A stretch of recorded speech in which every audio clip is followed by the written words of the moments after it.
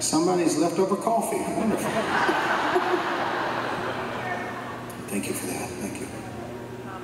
Let's see. Oh man, barely get a drink in my hand. I gotta set it down.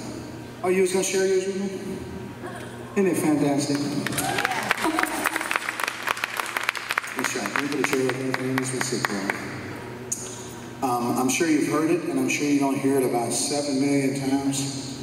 Aren't they fantastic? I had the good fortune of uh, playing with them in their, in their homeland uh, for about a week-long stretch there. We did a festival down in uh, Australia. I still can't talk like that, but I can say, uh, G'day, mate.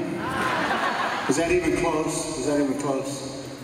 Give, can you give it a good one? Get, let the audience hear what the real one sounds like because mine was so terrible. G'day, mate.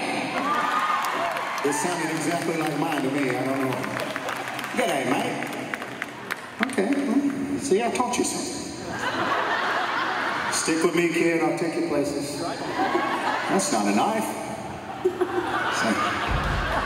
You don't have a knife factory. Let's check on that first. Are you having a good time out there?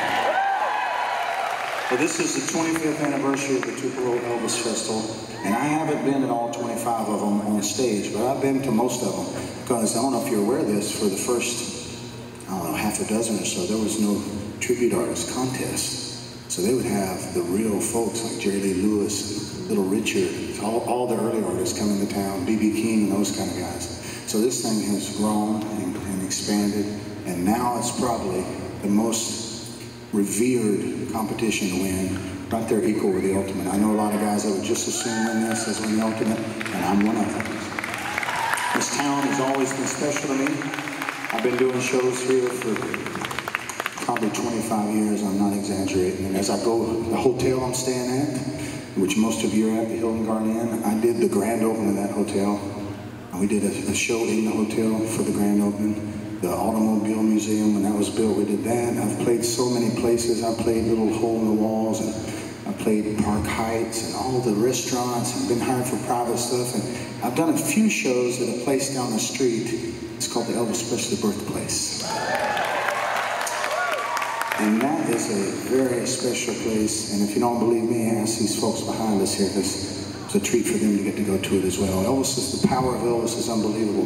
And it's been such an honor for me to get to do that. So, and some of those people that's responsible for having me on stage here tonight, they can hear me back there. So thank you guys, all the people in charge. Also, my friend Rhonda Lamb is in the audience. She works at the birthplace. She's responsible for the uh, the statue there, kind of getting me hooked up to model for that statue. And also my friend right here in the very middle of the aisle, if everybody turn and look at it, I don't know if you can put a light on him. He's the former director of the birthplace and such a wonderful human being. And more than just a good guy, he's my friend. That's a good guy, ladies and gentlemen. What a great friend you've been to me. And we sure miss you I love you. And I was coming to your house if I didn't see you before Sunday, so I'm glad you saved me a trip. But I'll still come over there. Uh, can we do a gospel song for you now? Would that be okay? Let me get a quick sip of this old stale coffee and we'll do it. I'd like to do Elvis's favorite gospel song. You heard me pray earlier. I'm not ashamed of it. I'm a Christian, ladies and gentlemen. I believe there's only, there's only one person that can solve all the problems, and it's not me. He's done wonderful things in my life, like some of the stuff I mentioned there for you. And uh, he can do the same thing for you if you give him the opportunity. And some of us need it more than others. So if you know somebody who needs it, pray for him. Never give up on somebody because you never know. That next prayer might be the one that leads into God. And once God's got his hands on you, look out, man. Let's do How Great God. Listen to this.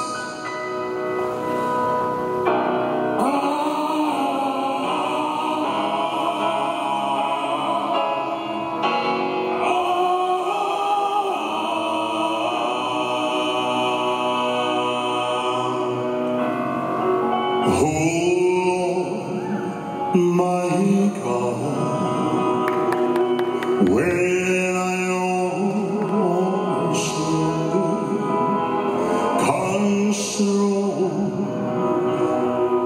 big hands have